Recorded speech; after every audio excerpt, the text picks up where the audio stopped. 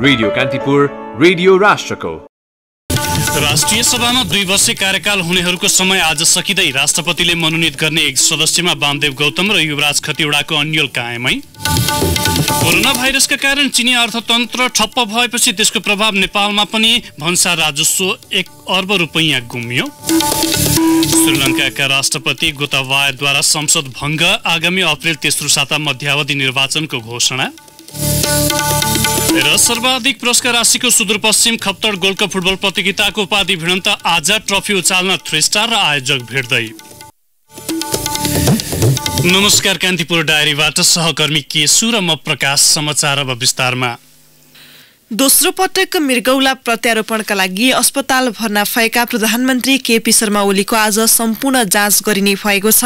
राजधानीको महाराजगञ्ज स्थित त्रिवेश शिक्षण अस्पतालमा हिजो भर्ना भएका प्रधानमन्त्री ओलीलाई भोलि मृगौला प्रत्यारोपण गर्नु अघि सम्पूर्ण जाँच गरिने उहाँकी निजी चिकित्सक डाक्टर दिव्या सिंह शाहले जानकारी दिनुभयो। प्रत्यारोपणको तयारीका लागि उहाँलाई आजबाटै औषधि प्रयोग गरिएको डाक्टर शाहले बताउनुभयो। प्रधानमन्त्रीको प्रारम्भिक स्वास्थ्य अवस्था सामान्य रहेको उहाँको भनाइ छ। त्रिवेश शिक्षण अस्पतालका युरोलोजी विभाग प्रमुख डाक्टर प्रेमराज किवालीको नेतृत्वको टोलीले प्रधानमन्त्री ओलीको मृगौला प्रत्यारोपण गर्नेछ। ओलीलाई नाताले भान्जी पर्ने झापा चारालीकी समीक्षा संग्रौलाले मृगौला दान गर्नुहुनेछ। संग्रौला पनि ओलीसँगै हिजै अस्पतालमा भर्ना हुनुभएको थियो। संघीय संसदको माथिल्लो सदन राष्ट्रिय सभाका उन्नाइस सांसदको पदावधि आज सकिँदैछ। उनासाठी सदस्यीय राष्ट्रिय सभामा एक तिहाई सांसदको पदावधि दुई वर्षमा आज सकिन लागेको हो। गोला प्रथाबाट निर्धारण गरिएको पदावधि मध्ये दुई वर्ष कार्यकाल तानेका नेकपाका आठ नेपाली काङ्ग्रेसका सात राजपाका दुई समाजवादीका एक र राष्ट्रपतिबाट मनोनित एकजनाको पदावधि आज सकिएको हो।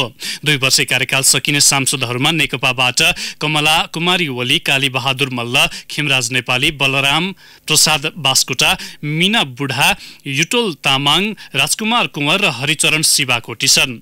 त्यस्तै कङ्ग्रेसका दुर्गा प्रसाद उपाध्याय धनकुमारी खतिवडा बद्री प्रसाद पाण्डे मुक्ता कुमारी यादव बिन्दा देवी आलेमगर सरिता प्रसाई र सुरेन्द्र राज पाण्डेको पदावधि पनि आजै सकिनेछ। राजपाका रमेश प्रसाद यादव र ब्रिजेश चन्द्र लाल समाजवादीका रामप्रीत पासवान र राष्ट्रपतिबाट मनोनित युवराज खतिवडा आजबाट पदमुक्त हुन लाग्नु भएको हो। उन्नाइस सांसदको पदावधि सकिएसँगै राष्ट्रिय सभामा कङ्ग्रेसका छ राजपाका दुई र समाजवादीका एक गरी नौ सांसद मात्र प्रतिपक्षीका रूपमा रहने भएका छन्। रिक्त स्थानमा पदपूर्तिका लागि माघ नौ गते भएको निर्वाचन मार्फत नेकपाका सोह्र र राजपाका दुई गरी अठार सांसद निर्वाचित भइसकेका छन्। राष्ट्रपतिबाट मनोनित गर्ने एकजनाको टुङ्गो भने लाग्न बाँकी छ। निर्वाचित सांसदले भोलि राष्ट्रिय सभामा पदभार ग्रहण गर्ने कार्यक्रम छ। राष्ट्रपतिले मनोनित गर्ने एक सदस्यमा भने सत्तारूढ नेकपाभित्र विवाद देखिएको छ। सत्तारूढ नेकपाको सचिवालय बैठकले नेता वामदेव गौतमलाई राष्ट्रिय सभामा लैजान सिफारिस गरे पनि प्रधानमन्त्री केपी शर्मा ओलीले अर्थमन्त्री युवराज खतिवड़ालाई नै निरन्तरता दिने मनसाय राखेपछि विवाद देखिएको हो। कोरोना भाइरसको संक्रमणले छिमेकी मुलुक चीनको अर्थतन्त्रमा गम्भीर असर परेसँगै त्यसको प्रभाव नेपाली अर्थतन्त्रमा समेत परेको छ। भारतपछि दोस्रो ठूलो वैदेशिक व्यापारको हिस्सा ओगटेको चिनी अर्थतन्त्र भाइरसको संक्रमणले थलिएपछि त्यसको प्रत्यक्ष प्रभाव नेपाली बजारमा परेको हो। चीनसँग जोडिएको तातो पानी र रसुवागढी नाका चार चालिस दिनदेखि ठप्प छ। दुई नाकाबाट आयात निर्यात ठप्प हुँदा एक अर्ब भन्दा बढी राजस्व गुमेको भन्सार विभागका प्रवक्ता सुशीर घिमिरेले जानकारी दिनुभयो। कोरोना भाइरसको असर पर्यटन क्षेत्रबाट सुरु भएर अन्य क्षेत्रहरूमा पनि बिस्तारै फैलँदै गएको नेपाल चेम्बर अफ कमर्सका अध्यक्ष राजेश काजी श्रेष्ठले जानकारी दिनुभयो। नेपाल चीनसँग खाद्यान्नदेखि लत्ता कपडा विभिन्न औद्योगिक कच्चा पदार्थमा निर्भर रहेकाले भविष्यमा थप सङ्कट उत्पन्न हुनेतर्फ सतर्क हुनुपर्ने उहाँको भनाइ छ। उद्योग वाणिज्य महासंघका वरिष्ठ उपाध्यक्ष शेखर गोल्छाले औद्योगिक कच्चा पदार्थ लगायत चीनबाट आयातित वस्तुको मूल्य वृद्धि सुरु भइसकेकाले यसको नियन्त्रण र नियमनमा सरकारले ध्यान दिनुपर्ने बताउनुभयो।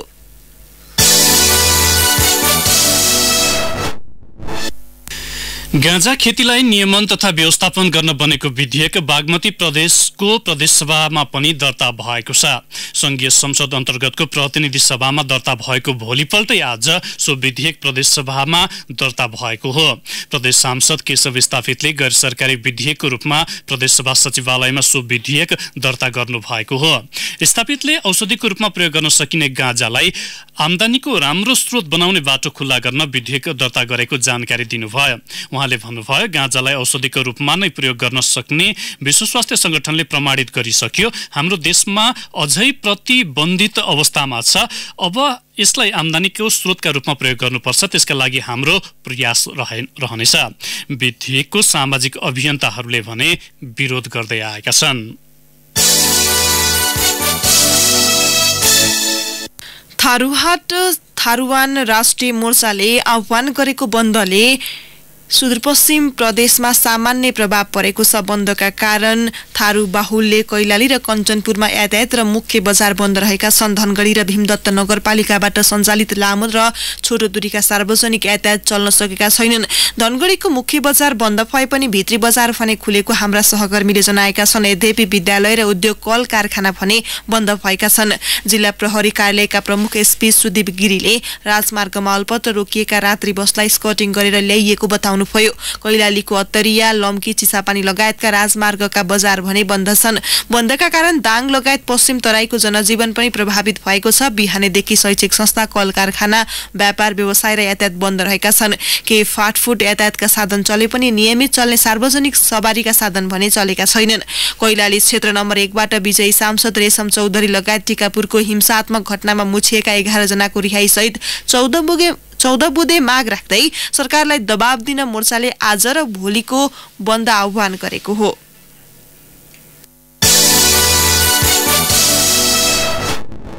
नेपाल बङ्गलादेश वाणिज्य सचिव स्तरीय संयन्त्रको पाँचौं बैठक बङ्गलादेशको ढाकामा आज सुरु हुँदैछ। बैठकमा वाणिज्य सचिव वैकुण्ठ अरियाल नेतृत्वको आठ सदस्यीय प्रतिनिधि मण्डलले नेपालको प्रतिनिधित्व गरेको छ। दुई दिने सो बैठकमा नेपाल बङ्गलादेश वाणिज्य व्यापार लगानी प्रवर्धन लगायतका विषयमा छलफल हुने नेपाली पक्षले जनाएको छ। त्यस्तै द्विपक्षीय लगानी संरक्षण तथा प्रवर्धन सम्झौता विपा गर्ने बारेको प्रारम्भिक छलफल समेत हुने बताइएको छ।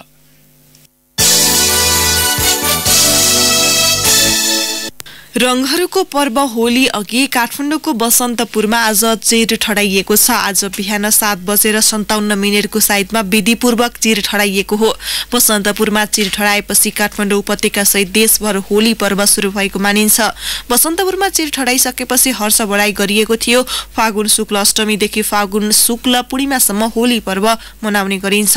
यस वर्ष होलीको मुख्य दिन काठमाडौँ लगायत पहाडी जिल्लाहरूमा फागुन छब्बिस गते र तराई मधेसका जिल्लाहरूमा फागुन सत्ताइस गते सार्वजनिक विदा दिइएको छ। कान्तिपुर डायरीमा अब ब्रेकको पालो। कान्तिपुर डायरीमा अब अन्तर्राष्ट्रिय प्रसङ्ग श्रीलङ्काका राष्ट्रपति गोताबाय राजपाक्सेले संसद भङ्ग गर्नु भएको छ। संसदको कार्यकाल पूरा हुन छ महिना अघि नै संसद भङ्ग गर्दै उहाँले आगामी पच्चिस अप्रेलमा मध्यवादी निर्वाचनको घोषणा गर्नुभएको हो। राजपाक्सेले संसद भङ्ग गर्ने राजपत्रमा हस्ताक्षर गर्नुभएको स्थानीय अधिकारीलाई उद्धृत गर्दै अल जजिराले जनाएको छ। वर्तमान संसद सन् दुई हजार पन्ध्र सेप्टेम्बर एकमा गठन भएको थियो। संसद भङ्ग गर्न कम्तीमा साढे चार वर्षको कार्यकाल पूरा हुनुपर्ने श्रीलङ्काको कानूनमा उल्लेख छ। संसद भङ्ग गर्ने राष्ट्रपति गोताबायको निर्णयसँगै श्रीलङ्कामा राजनैतिक सरगर्मी बढेको छ।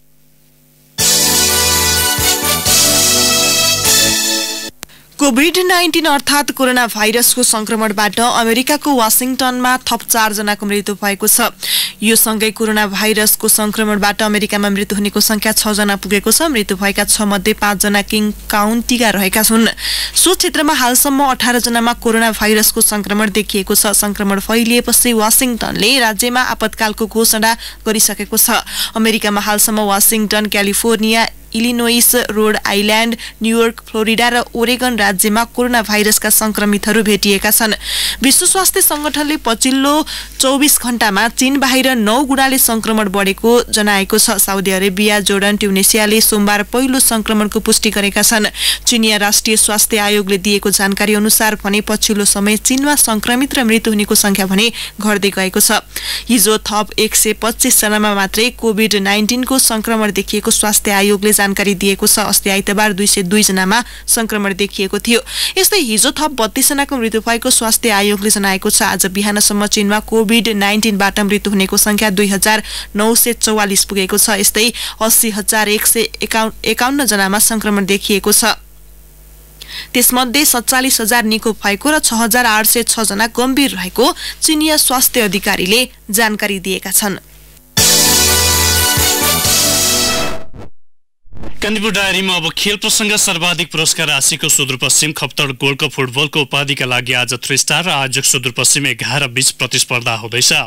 धनगढी रङ्गशालामा दिउँसो तीन बजे एकअर्का विरुद्ध मैदान उत्रदा दुवै टोली गोल्ड कपको पहिलो उपाधि जित्ने दाउमा रहनेछन्। पहिलो पटक फाइनल पुगेको घरेलु टोली ए डिभिजन टोलीलाई हराउँदै कीर्तिमानी उपाधि हात पार्न चाहन्छ। दोस्रो पटक फाइनल खेल्न लागेको थ्री स्टार आफ्नो अनुभव र क्षमता अनुसारको खेलसँगै उपाधि आफ्नो पोल्टामा पार्ने दाउमा छ। थ्री स्टारले सेमिफाइनलमा हिमालयन शेर्पा क्लबलाई हराएको थियो। आयोजकले विभागीय नेपाल चुन नेपाल एफिएफको चुनौती पन्छाउँदै उपाधि यात्रा तय गरेको हो। गोल्ड कपको उपाधि विजेताले एक्काइस र उपविजेता टोलीले दस लाख रुपियाँ प्राप्त गर्नेछन्। इलाममा जारी छैटौं Mai valley gold cup football प्रतियोगिताको अन्तिम क्वार्टर फाइनलमा आयोजक माई भ्याली फुटबल क्लब र पाहुना टोली मोहम्मडन स्पोर्टिङ क्लब कोलकाता प्रतिस्पर्धा गर्दैछन्। इलाम सदरमुकाम स्थित ठूलो टुरी खेलको मैदानमा दिउँसो तीन बजे यी दुई टोली बीचको क्वार्टर फाइनल भिडन्त शुरू हुनेछ। प्री क्वार्टर फाइनलमा सिक्किमको गान्तोक सिटिएफसीलाई हराएको आयोजक अर्को भारतीय टोलीलाई हराउँदै सेमी फाइनल प्रवेशको योजनामा छ। बाइपाएर क्वार्टर फाइनल पुगेको मोहम्मडन भने आयोजकलाई हराउँदै अन्तिम चारमा पुग्ने दाउमा छ।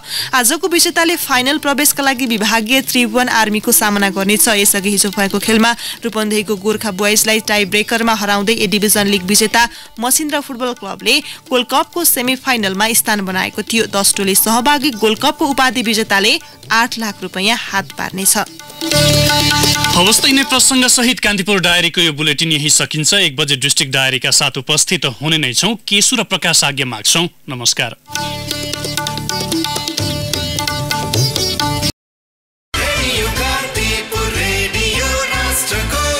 सूचना र मनोरञ्जनको सम्वाहक रेडियो राष्ट्रको रेडियो कान्तिपुर